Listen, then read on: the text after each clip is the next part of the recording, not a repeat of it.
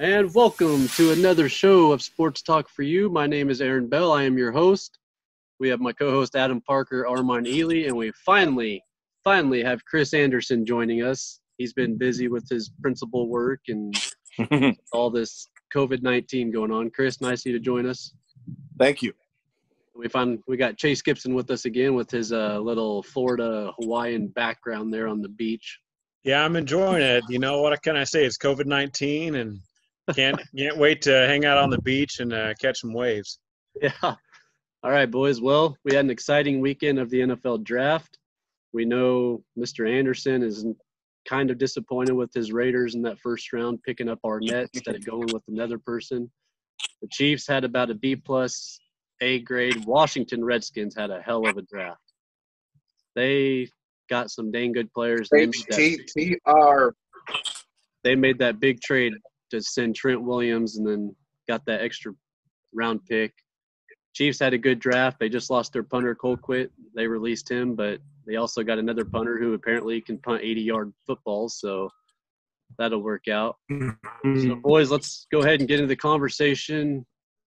Are you guys happy with your teams? Chris, we'll start with you. How do you feel about the Raiders draft?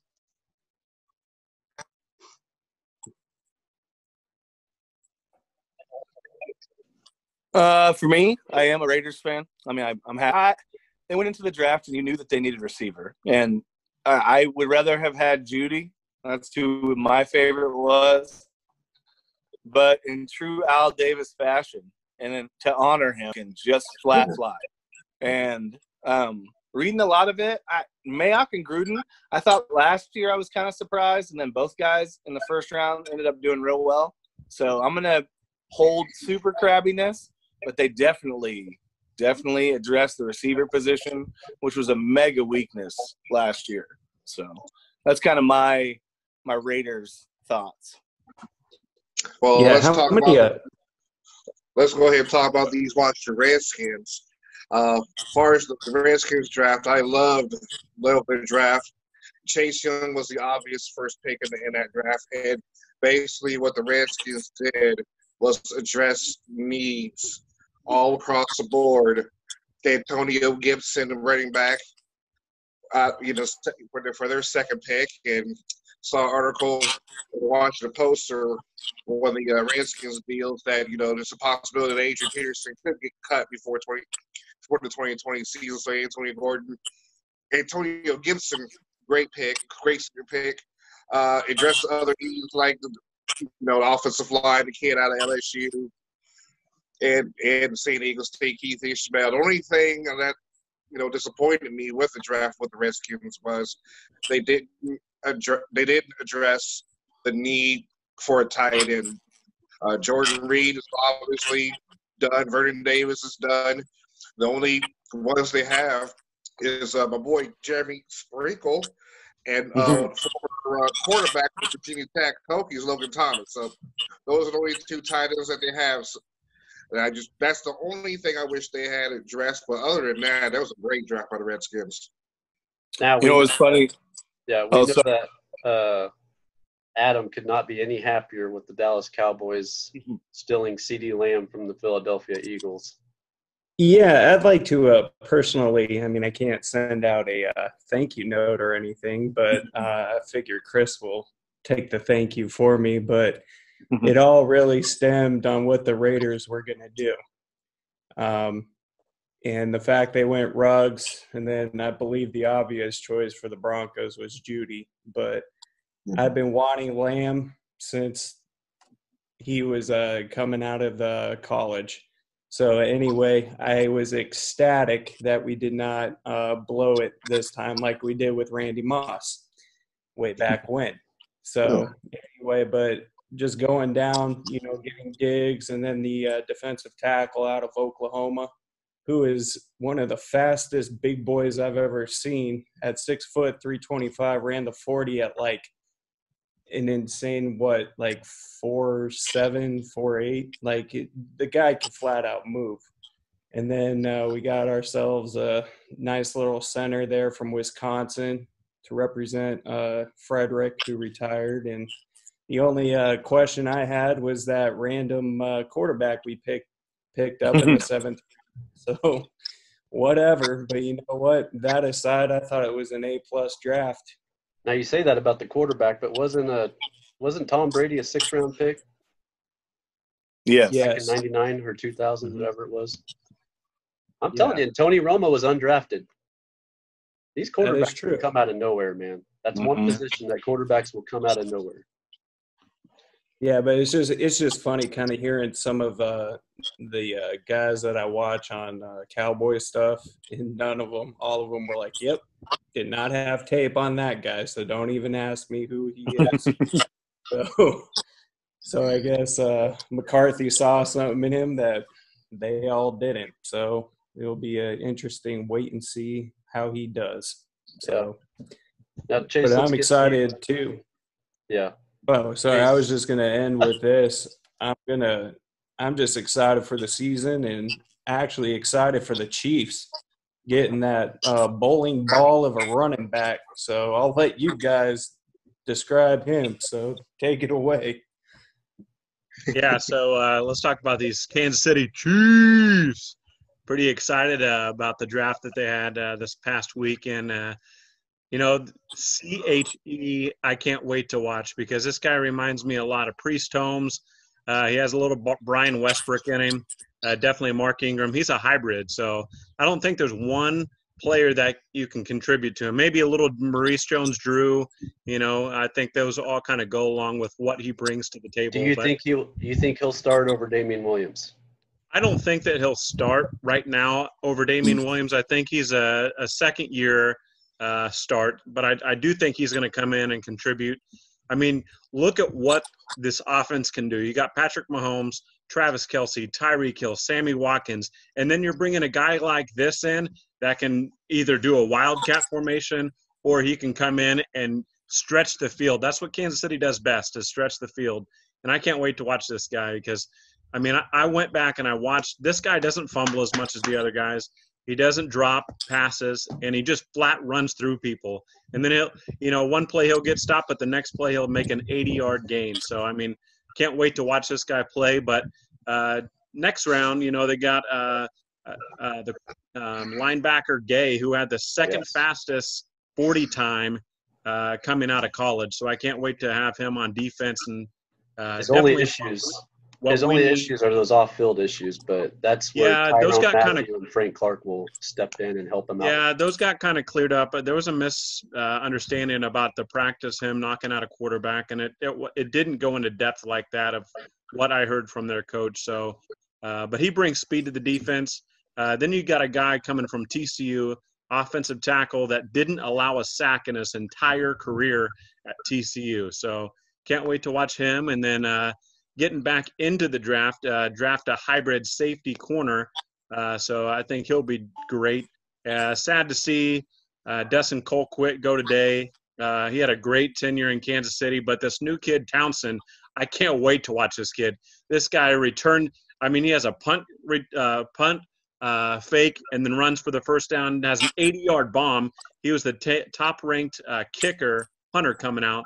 So, and there's other couple of guys that they gonna have in for competition, but what an exciting time for football. Uh, the highest ranked NFL draft uh, in history uh, from the COVID 19, obviously, but it, it's exciting times. Yeah.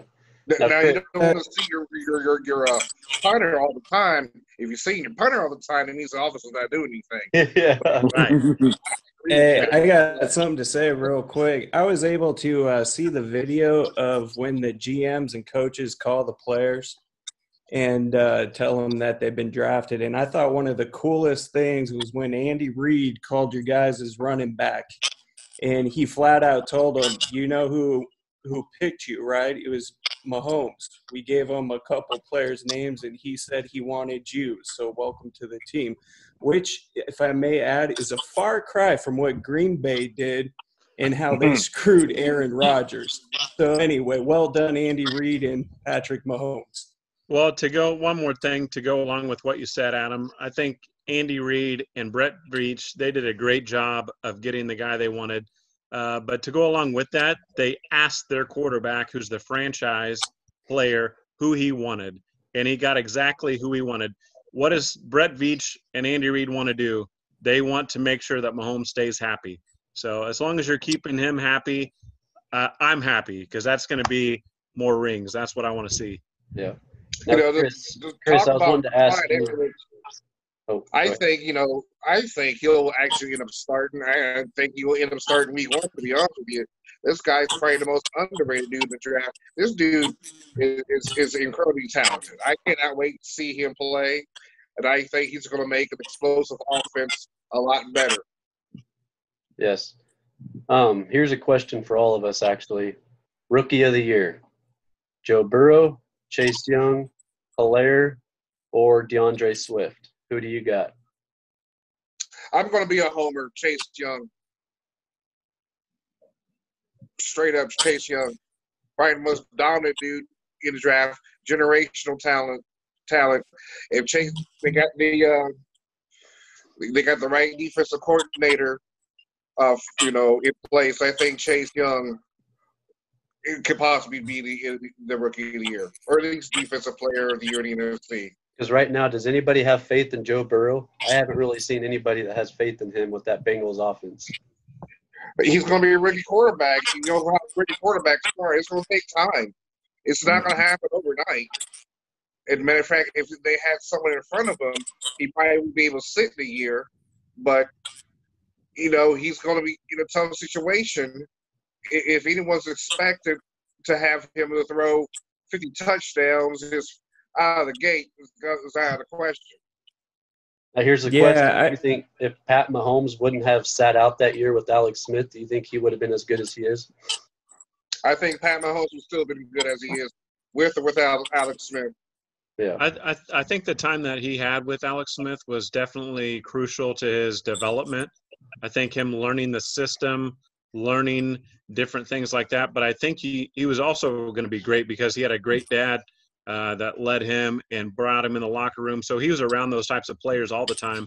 Uh, his questionability wasn't there. It was just getting to know the system. Andy Reid has a complex offense, and I think that's something that you have to learn. It takes a little bit of time to develop, and uh, I, I think they did the right choice there. I think uh, I think a big thing for me, and just kind of tying up a lot of that stuff. One, I agree with Armand. I think it is Chase Young. I think we haven't even seen what he can do yet. I think it's going to be a lot of fun. Um, two, the Pat Mahomes thing. It's it's he understands culture, and Andy Reid understands culture and winning culture, and so to include and have that part of it in there, I, I just I feel like, and Adam, you alluded to it earlier too, with like the Green Bay thing. I, I think that is a, a new coach and kind of a new organizational philosophy that they're kind of heading toward and it's just it's not a good feel. It's not a good culture for right now. I just think we saw some teams that have a good established culture show that, and then we saw some teams that just had head scratcher moves. And I think that's a big thing for me. I thought the draft itself really just showed us something. It kind of uh, accidentally showed something that I think we're going to see a lot more of in the future. Because just seeing the coaches' houses, with their families and stuff like that, that made the NFL feel not like the no fun league, but a lot like you got to see. I mean, Belichick's got his dog at the table. You got what's going on in the background with Vrabel. You Mike got Zimmer's got all of his uh, hunting yeah animals up oh, on Zimmer. His God, Zimmer's lodge was scary. You got, you got, you know, you got a fireside chat with the commish. I mean, I just I thought the whole thing was great. I could see the first round that first night being done up and you would get invited and stuff like that. And then the rest of it, two, three, four, five, six, seven is going to be online because it just it's a lot of fun. Yeah, they said it was the most viewed NFL draft in all three days. Like everybody That's watched wild. it in three days because I think mm-hmm. it's just it was a virtual draft and everybody loves seeing all these GMs and owners' houses and I mean, to me, yeah. it's kind of cool. I mean, Roger Goodell's basement, he was calling all yeah. the players from his basement, and and plus, it was the only sporting event on. Yeah. now, here's a surprising thing, and I was really surprised when I got this news. Uh, Jameis Winston to the Saints on a one-year deal. Why would he go to the Saints when Drew Brees is by far going to be the number one starter? He's going to be this backup. That's why he signed. He's going to be this, the backup. Is this going to be a plan for maybe Drew Brees retiring after next year and James no, staying because he only has a one year deal. There's no guarantee Jameson's going to be there at the end of that one year deal. He's there to back up, back up uh, Drew Brees. But that's my thing. Why would he take that and not go to a team that he knows he can start? Well, think about it. Who who offered him anything? Yeah. He, he he was out there for a long time. It's quite obviously no one really offered him anything. Of course, Tampa Bay didn't want him. They got Brady. So he had to go to a team that wanted him. And in the case with the Saints, he's gonna be he's gonna be backing up Drew Brees, and then he, he's he's gonna be fighting Taysom Hill, who signed a two-year deal. If Jameson stays on after the season for that starting job for the Saints, if Drew Brees happens to retire after the season, there's no guarantee Drew Brees can retire after the season. I can see him playing another year. I'm sure but, Adam would take him in Dallas over Dak Prescott. yeah, I'll take Mr. 30 for 30. you know? no, I you know, it's interesting cuz to me Jameis Winston just needs some tweaking to his game. I mean, he did well with the weapons that he had. I mean, he threw for more yards than Dak Prescott this year you know, and I believe he had more touchdowns than Dak Prescott this year. The only downfall was his 30 interceptions that ended up screwing the Bucs more than anything. So it's honestly, it's about what? It's about winning. Yeah, no, it, re- it's about winning. It, it truly is win. about winning. It truly is because I find it odd that the guy with the number one QBR rating didn't even get asked to go to the Pro Bowl, let alone make the playoffs. Yeah, Here's the thing that gets me though. You go out and you sign Taysom Hill to a contract extension, and then you go out and sign Winston, but then you give Taysom Hill an additional contract. So it's like, all right, you really want Taysom Hill, but he's not good enough to be the backup right now, but maybe eventually he's going to be the man. So I mean, that's that's the thing that kind of got me is you just extended him, and then you're going to extend him one more time just so he feels comfortable. Okay, we love you, but you're not the man here, but we'll give you another extension. Yeah, man, I think I think the Winston thing is about two things. It's about one image fix, like I'm gonna go learn from Sean Payton and Drew Brees, and I'm gonna try and show that I can be more disciplined. And then two, it's uh, you're pulling the version of what Tannehill did this year, and you're taking a year, you're sitting yourself out, basically. And we saw Bridgewater, the backer for the Saints, get in for five games this year. And you know, Drew's not indestructible. He's our age, some of our age, Armand. And so I think the funny part about it is, I think he's setting himself up, kind of similar to what Mariota's doing, like a redo. And then I don't think his I think his agent must have just said to him, "Go do this," because there are reports out there that he turned down another team for a more lucrative offer. I mean, we don't know that and can't prove any of that from where we're at. I think it's just a real calculated thing, and I think New Orleans also knows that Taysom Hill's not going to be their starting quarterback. He's going to be the same thing he was this year, coming in doing all kinds of crazy stuff. I think they like having him. I think Payton likes that too. So I that's for me, that's more of the Saints thing but yeah, when I saw that that's where he was going first, I took pause and had to think and see what I thought of it. Yeah. Now let's get to the uh, beloved Indianapolis Colts. Of course, they had that big offseason pickup with Old Man Rivers, and then they went out and got Michael Pittman Jr., who people believe could be a deadly weapon for Rivers, and they got the running back that I've always praised in college football, Jonathan Taylor, who I think could easily be a day one starter do you guys think that that offense has become somewhat deadly that they can put up 20 25 points a game? Yeah they'll definitely put up close to 25 if not go a little bit over that a game. And uh, if they don't then uh, i blame Flip, uh, philip rivers for that. Anyway um, the colts to me had a very good draft. And i believe that um, with the backup that they got, even though I was not a fan of his, watching him a few games in Washington with the Washington Huskies. he I believe Frank Reich is the only guy who could actually semi develop a quarterback that needs help. And so he'll learn a lot from him. And I think he could actually succeed down the road. Uh, it'll be interesting. But the uh, Colts draft, I mean, they did an excellent job at getting weapons, some defensive players, even uh, the big trade with uh, San Francisco. So look for Indianapolis to make some noise, whether it's going to the playoffs, uh, you know, winning the division or what. I have no idea, but I'm excited for them. I am. The division is weird anyway because you got Jacksonville, who I think is going for the number one draft pick, and then you have the Texans, who we're not ever real sure who they're going to trade and what they're going to do. It's Bill O'Brien. And, and then we have the Titans, and are they going to be able to recreate what they did last year? And I'm not buying that. And that division to me is wide open. I think it's the Colts to win or to lose. And I totally agree with what you said, Adam, about Reich and Eason. And I think they drafted for the future. They drafted for what they have coming. And I thought, yeah, with Pittman putting somebody finally across from T.Y. Hilton, I think they're going to have a, a, pretty solid team. And the AFC, besides the top two spots, is wide open as far as I'm concerned. Well, and and you go back to uh, this year, they're adding two more playoff teams. So yeah. I definitely think they're a playoff team caliber. Uh, so if they can stay healthy, you know, with Ty and you know the weapons that they've added and Taylor, uh, that's a that's a stud. You know, they moved up to go get him. I mean, the guy had potential to be a first round pick. You know, he was that good. The guy doesn't run for six thousand yards. You know, in a couple seasons and not be a good enough running back.